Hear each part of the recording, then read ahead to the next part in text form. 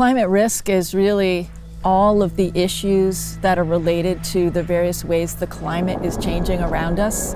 It really all comes down to the trade offs between going along as we are, business as usual, and the damage that, say, extreme weather is going to do, the damage that rising sea levels are going to do, that stronger storms are going to do, and then look to the future and see, you know, how can we do better? If we understand climate risk better, we can prepare for it better, we can make our societies and our cities and our populations more resilient. But understanding climate risk is also important for motivating action.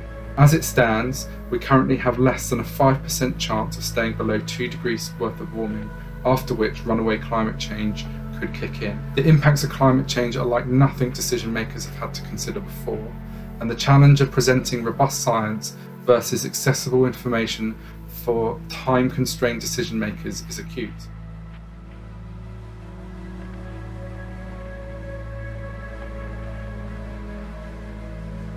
We worked with the COP26 presidency and the British Foreign Office, specifically their Science and Innovation Network, to hold workshops in 13 of the G20 countries. Given what we know about the scope and scale of the problem, there should be urgency to mitigate. But we haven't seen that, and we're trying to understand why. This workshop exists to try to figure out how to deliver the right message.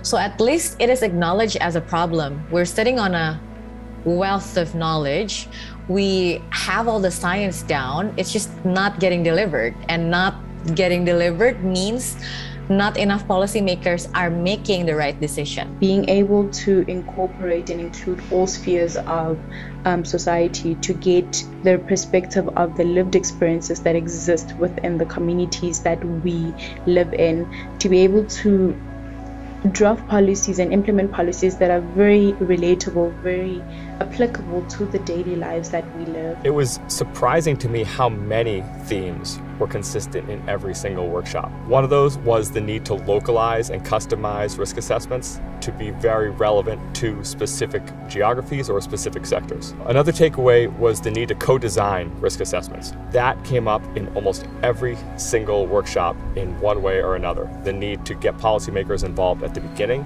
and make sure there's an audience for the risk assessment before it's even begun. Another very interesting takeaway was the need to pair risk assessments with solutions. We heard again and again that if risk assessments are presented on their own, they are depressing, they are overwhelming sometimes, and if they're not paired with productive pathways, then they're going to be pushed to the side. Understanding and analyzing and deeper studying climate change risks and channeling this information to decision makers, both in the private and the public sector, is fundamental to design both the public policies for the future and also to design the future of the economic decisions that would bring accuracy and more economic success to the private sector in the years to come. I think what is perhaps getting more traction now is that we're able to connect the dots between just saying, you know, we're going to see more of these kinds of events happen, putting numbers on them in terms of money.